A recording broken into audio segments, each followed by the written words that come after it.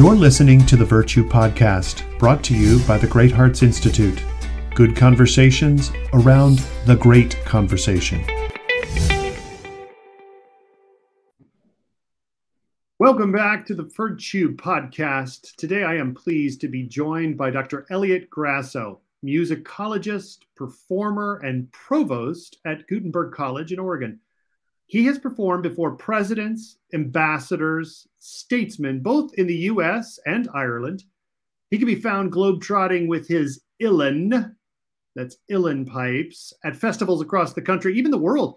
Who would have thought that your youthful interest in some obscure pipes would launch you in an international career? Welcome, Professor Grasso. Thank you so much, Rob. Pleasure to be here. Uh, wonderful to be on the show. Well, I'm just pleased because I got uh, a, a, foretaste, right? A little preview of these pipes. First, you had to explain to me how to pronounce them, uh, spelled U I E L L A N N. These are the uilleann pipes, the uilleann pipes. Uh, and you're going to tell us a little bit about them. But hey, why don't we start with a demonstration? Would you mind playing a little, a little something for us? Happy to, happy to. I'm going to shift my chair and my camera a little bit, but I'll tell you a little bit about them while I'm setting them up. So these are the Irish uilleann pipes. Um, it's a bagpipe that developed in Ireland in the mid 18th century, around the time of the Enlightenment. Um, each country in Europe has their own particular kind of bagpipes, but these are mostly used for indoor dance music. And while I scooch back here, you can see kind of how they're how they're put together. So instead of blowing into the pipes like Scottish pipes, right? I'm not gonna, I'm not gonna do that. I'm actually gonna plug that tube into a bellows here. So it's bellows powered bagpipes from Ireland. And so I'm gonna plug in there and I will put this as a piece of leather on my knee to seal uh, this thing called the chanter. I'm gonna play the melody on the chanter. So I'm gonna, I'm gonna buckle myself into these pipes. And you can see there's a, there's an arm belt right here and there's a waist belt also. When I pump on the bellows, uh, the bag moves. And so what I'm going to do is I'm going to play the uh, play the chanter, which is this pipe. Um, has about two octaves on it.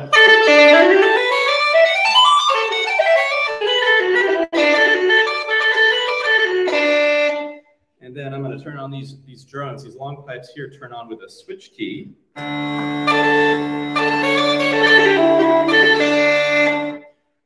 I might uh, hit these, these key pipes here, which are called regulators. Is there's two pipes with keys on them.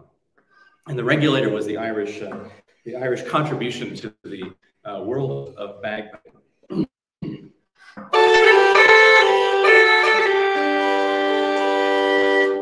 So I'll try, uh, try a traditional uh, Irish reel here for you.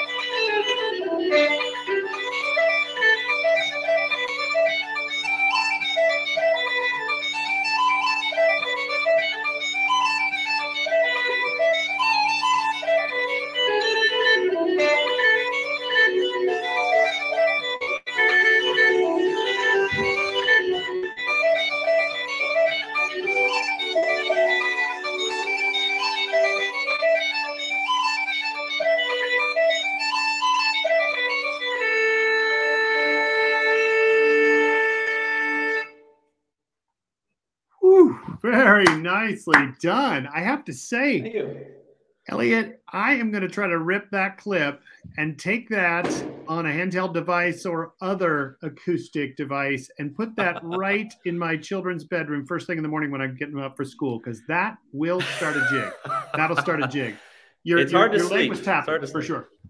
Yeah, it's definitely dance music. Definitely dance music. It is indeed. How did you come to play them, and how, how was it that you were drawn to this instrument? This is really fascinating. As you said, it's it's uh, two three hundred years old. How'd you get to them? Yeah, um, so my parents um, met each other during the 1970s during the folk revival in America and grew up, um, you know, doing their relationship together, uh, doing traditional Irish dancing and Irish music. So it was very much a house full of music. And when I was kid, seven, eight, nine years old, they would take me to Irish festivals and there'd be live musicians. And, you know, I walked past one of the tents and there was a guy uh, coercing music out of this sculpture. And I thought, wow, what a weird and interesting looking thing. There was just so much to look at it and so much going on. So I was about 11. I begged and begged and begged, and they, they found the Uilleann Piper in the state of Maryland um, to, to start giving me lessons, and the rest is history. Oh my goodness, that's fantastic. You know, in our work as classical educators, you're, you're familiar now with Great Hearts Academies and with the work we're doing at the Institute we are always so keen on providing students an opportunity to explore the nature and the craft, and specifically the skills that go into the making of beautiful artifacts, not the least of which is music. And I'm yes. wondering, as you were practicing and developing your own ability, how did you how did you develop real competence, real skill? That's a great question, Rob. Um, I think there are a couple pieces. I mean, one is that there's there's no fast track to being uh, competent at anything. Um, it takes a lot of time and practice and lots and lots of repetition. So you have to be interested in that and, and willing to do that. And um, I was interested in, and willing to do that. But it helped for me to have a lot of really great teachers around who I could imitate. So when you're learning to play music, um, you have live teachers here near you. You have a community that's supporting you while you're doing it. And of course, you're listening to scads and scads of world class recordings that you hope to someday imitate. So I'm sure that um, there were a, there were a tape or CD or two that I kept in the car and made my parents listen to it anytime we drove anywhere. The same recording, you know, 20, 30, 40 times sometimes yeah, yeah. to try to pick out all the meat from that. Yeah. That's right. Well, I appreciate your you're not offering any kind of secrets that would try to shortcut the the hard work that's necessary. On the on the other hand, are there any technical features of the work that you came, or you know, the skill that you acquired, uh, that really were distinct for the Uilleann pipes? You know, things that you just had to to kind of come to grips with, uh, so to speak, uh, that, that that maybe you didn't you didn't know about when you first take took interest. Oh, absolutely. Well, well, tuning is a huge issue. Um, you know, and listening, recording myself back and listening to the tuning mm-hmm. of the mm-hmm. instrument while I was playing it. So, like, you know, I'm I'm putting, you know, imagine trying to crush a watermelon or a, a football with your elbow. That's the kind of pressure that I'm putting on this this bag. Sure. Um, and every note has a particular specific bag pressure at which it plays best in tune.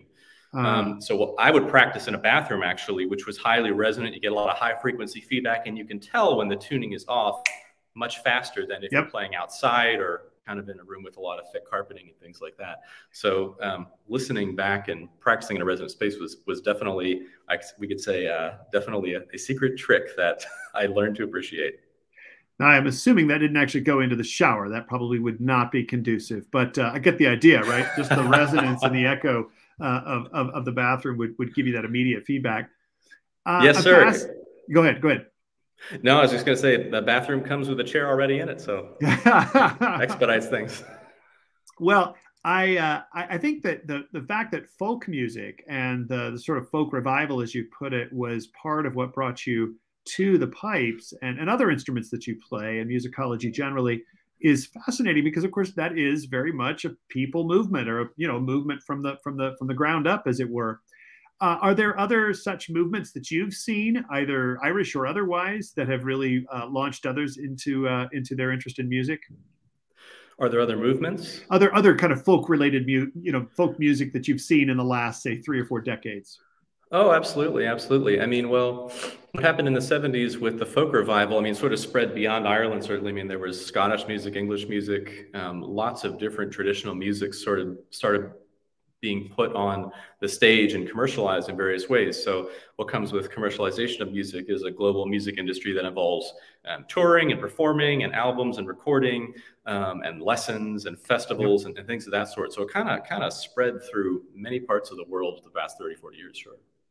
Well, uh, as as uh, I'm always fond of saying, we'll get some more details from you because I think that our audience would be fascinated to know more. And if we can put some things in the show notes regarding this folk revival, might sure. be opportunities for us and for our children, right? Some of us might just want to go to a local festival and expose yeah. them to some of what's on offer. But you did make a transition because not only are you a performer of the pipes, but you're also a scholar. Again, a musicologist, an ethnomusicologist, and uh, and professor, and serve as the provost, the academic head there at Gutenberg College. How did you get from performance art to scholarship? Well, um, I love playing, um, but I also like helping people understand what it is that they're doing and why they're doing it. Um, so that lends itself to discussion, lends, lends itself to explanation. Um, so I started teaching people to play this music when I was about 16, 17 years old and, and really enjoyed it and enjoyed the dialogue of how people arrived at you know their practice and how things were going. And just I'm very interested in people uh, personally as well.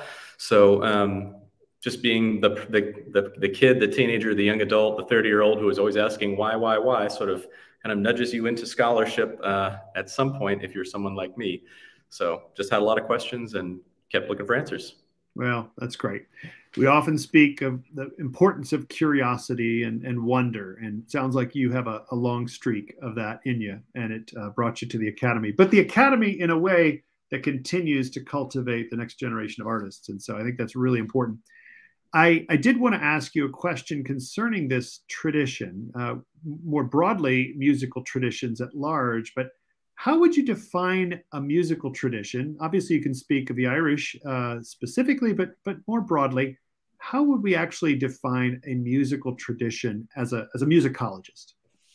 Sure. Well, I mean, the musical tradition is a set of normative behavioral practices that people repeat on some level with some consistency over generations. That's what mm-hmm. I would say. Yeah. yeah. And yet, it's not fixed necessarily because, of course, it's handed down from one generation to the next. So, how does a tradition that has those behavioral norms change over time, right? How do they become effectively uh, integrated, if you will?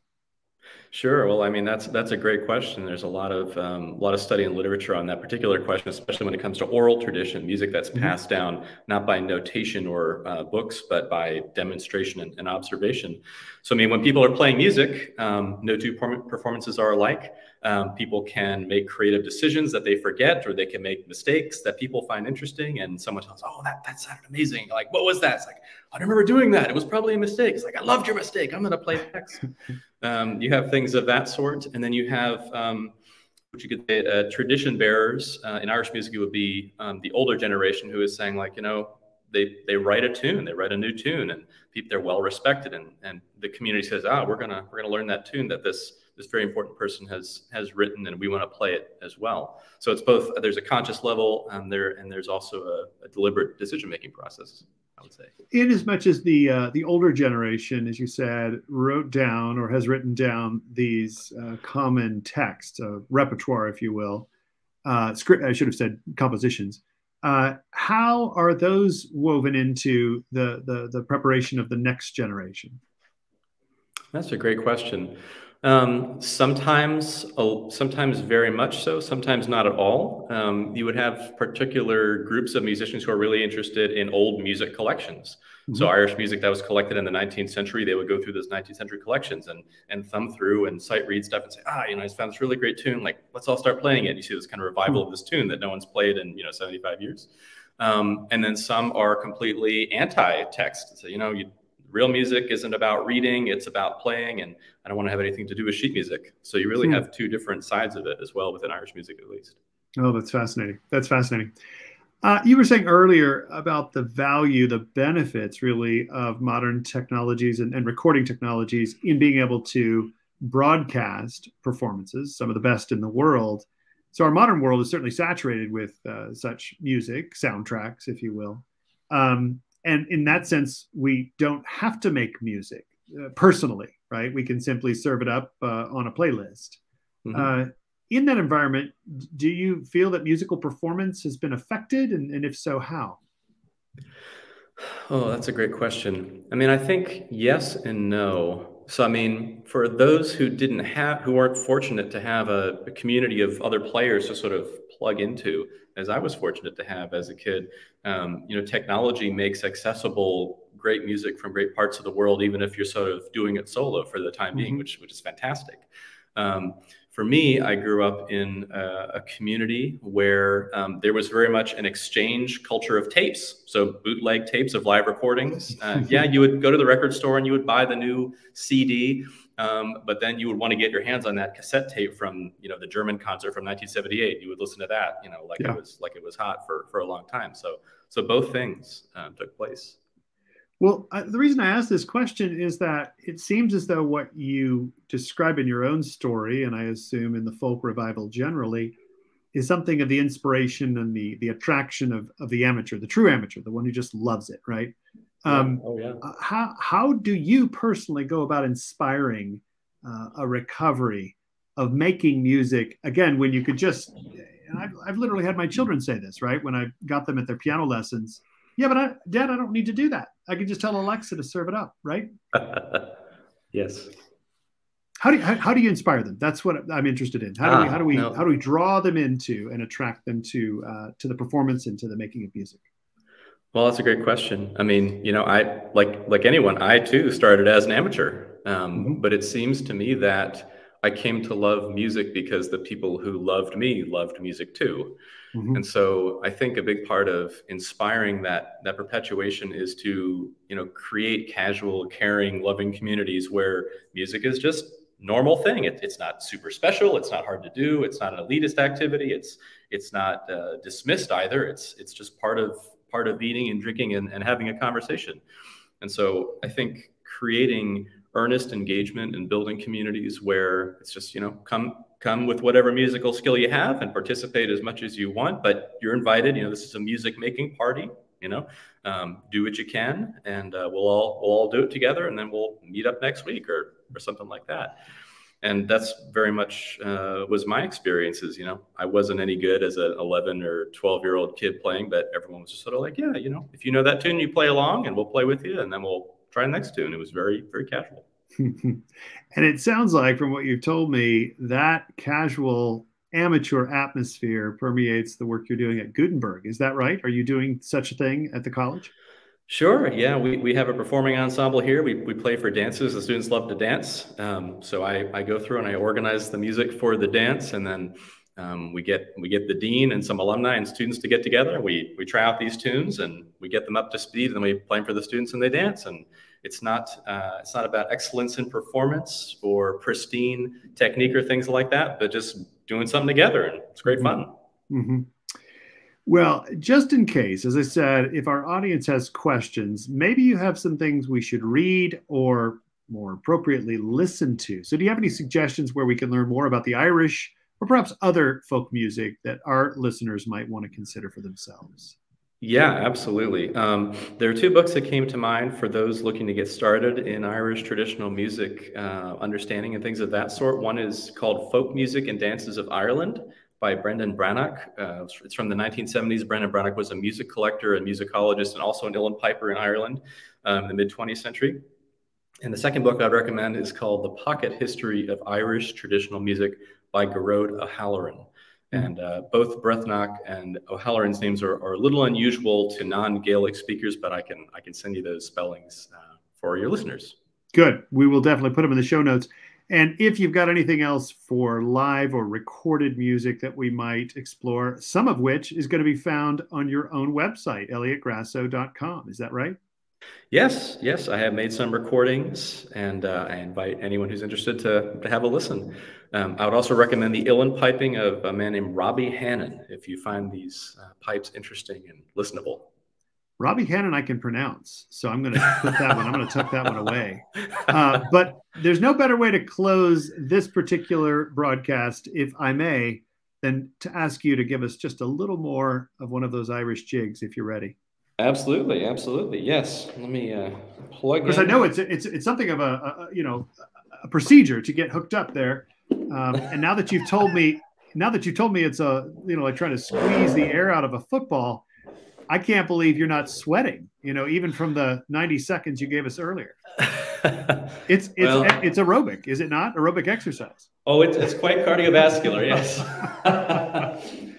now that's that's one of those things that you pick up from because working on it as a kid is it's a little bit a little bit easier, but sure. I'd be lying if I say if I said I weren't sweating. All right, so here, let's see here. Okay. Here's another one.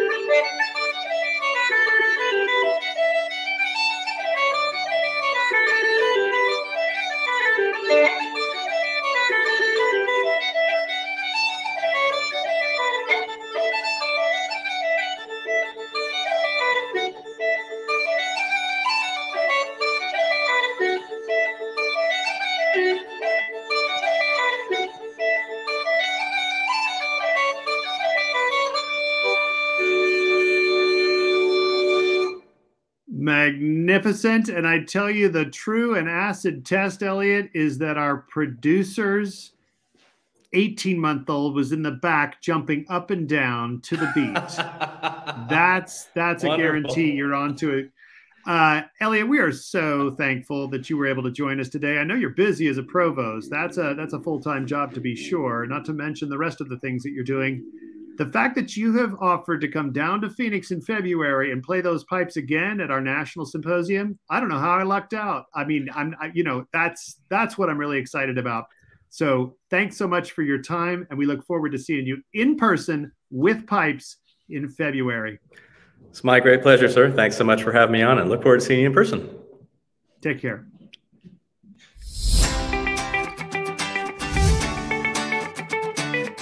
Registration for the 2023 National Symposium for Classical Education is now open.